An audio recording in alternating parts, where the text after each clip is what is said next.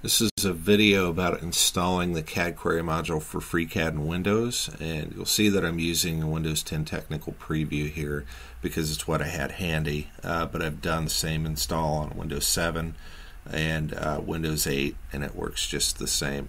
Uh, for anyone that doesn't know, CadQuery, uh, as it says here, is an intuitive, easy to use Python based language for building parametric 3D CAD models.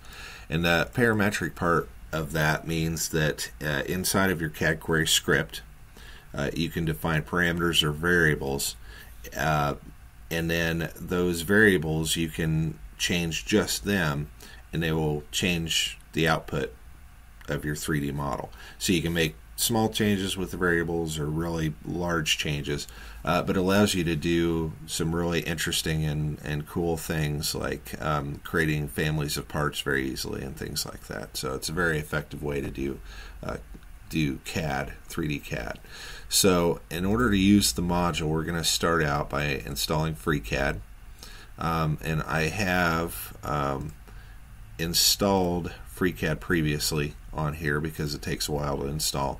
Uh, but what you'll do is you'll come in here and you'll see this download section. There's a Windows link under that. And then the latest stable release as of the recording of this video is uh, 0.1 or yeah 0.14. So if I click on that, uh, come in here and I see there's a 64-bit version and a 32-bit version. Um, I've got a 64-bit version of Windows 10 running here, so I would click this and download this. Um, I've already downloaded it because again it takes a while, so you end up with uh, the installer file in here. You double click, tell Windows it's okay to install it. Um, you can choose the defaults during the installation process. The only thing that uh, you might want to take extra time and consider is this add to Python path option here. I've taken a screenshot during the installation process and just saved it here. Um, but as the, the description says, it adds the FreeCAD installation directory to Python path and registry. And my understanding is that what this does is it allows um, your entire Windows system to use the Python interpreter that's bundled with FreeCAD uh, system wide uh, because Windows typically doesn't come or it doesn't come bundled with Python. So once FreeCAD is installed, uh, we'll go to the, the GitHub project for the uh, FreeCAD module. And again, um, I didn't mention it, but um, you go to uh, freecadweb.org uh, to download if I can get back to it here, freecadweb.org is where you download FreeCAD from. Uh, you can go to GitHub and search for cadquery-freecad-module uh, to find um, this this module project. Uh, to download it, you can click this download zip button here, but this will grab the latest commit, which isn't uh, which is more likely to have glitches in it than if you use a stable release. So what I would do is come up here and click on release and currently there's only one release of the module. It's um, version 0.1.8. Um, so go ahead and click and download the zip. Once it's downloaded, I'll go to my downloads and drill down in here.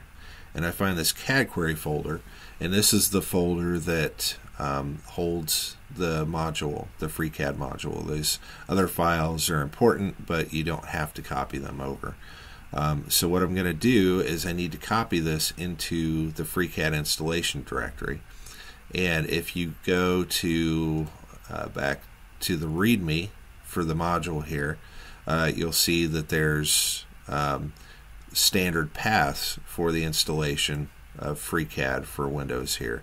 Uh, like the x86 would be if, uh, since I'm running a 64-bit system, if I installed the 32-bit version of FreeCAD, on a 64-bit system, I think it would end up in here. But I think that this is where the FreeCAD installation should be. So I'm going to open another file explorer here. And then I'm going to uh, click on C drive, go in here, and I see FreeCAD 0.14. So I go in there and I see this mod directory. And that's where the, the FreeCAD modules are stored. So if I go in there, um, you can see that I've already copied over the CadQuery directory because it, it takes a while to extract it. Um, but normally what you do is just uh, right click and copy and then um, right click and paste and then Windows will ask you for administrator privileges in order to copy the, the module here. So once that's installed you can start FreeCAD up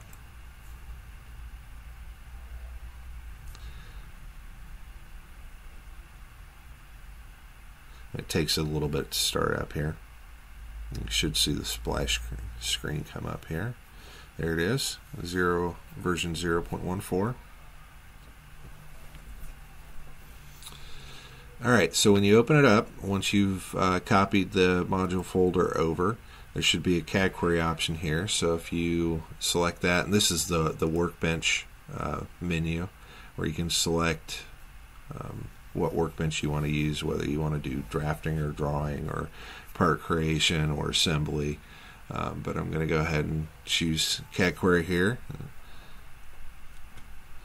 It goes ahead and starts up, and you'll notice that the the first thing that it does is opens an example. It opens this this simple block here, so you can kind of get a, a feel for the um, the syntax and how the uh, how CadQuery works. Um, you'll also see that there's a CadQuery menu up here. It gives you the, the typical options like to create a new script, uh, which just uh, um, gives you some template code here in your coding window. Um, you can also open a script that you've created previously. You can do save, save as, close. Those are pretty standard. Uh, then you get down to this examples menu, which is really handy when you're trying to learn uh, FreeCAD. The examples in general start at the top uh, as simpler examples and then get more complex as they go down. So you can kind of work your way down through the list, and I'll show you different concepts. Uh, they're named pretty intuitively, so you can tell if like you're interested in polygon creation. Um, you can find, you know, hopefully find an example that will will teach you that. Um, if I go ahead and open a simple block example, uh, we can see that there is an execute script option here, which is also bound to key F2 to make it quick to to uh, execute the scripts. So if I go ahead and change a parameter here, it's a, a variable or a parameter. Uh, variable in Python terms and parameter in parametric modeling terms. I'll go ahead and just um, select execute script and you see that the length of the part has changed. Um, the last option here is clear output. You can click it and it just clears the report view down here. The report view is what uh, where you know it tells you what's going on with the module, whether it's executing or whether you're opening something or if there's an error with your script. Um, like if I come in here and do put a D in front of this and then try and execute it, it'll actually give me the stack trace and tell me what was wrong. DCAD query is undefined, which makes sense. So if I fix that, execute, we're back to where we were. Um, so that is everything. That's um, installation and getting started with the the FreeCAD um, CadQuery module. I'll post some links in the description below, and uh, please feel free to ask questions. Thank you for watching.